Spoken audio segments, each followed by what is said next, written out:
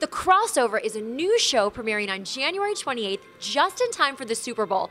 The hosts talk about the merging world of entertainment and sports on this show. We caught up with them to find out what we can expect to see, and we found out what they're most excited about with the Super Bowl coming up.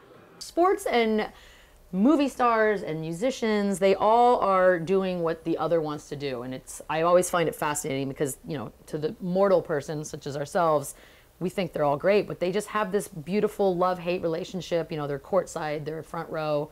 Um, to me, it's sports and entertainment are, are, one and the same. There's lots of stories surrounding the Super Bowl coming up. Mm. Um, what are you guys looking forward to covering the most?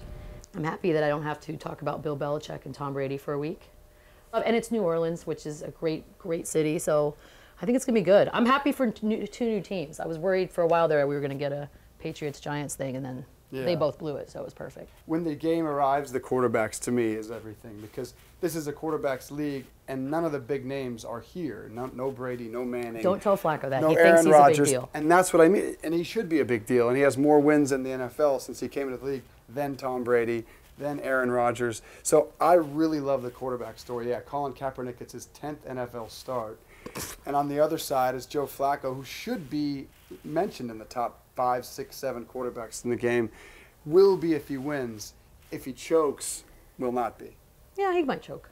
He won't choke. They're going to win. I'm teaming. Super Bowl MVP, Joe Flacco. No chance.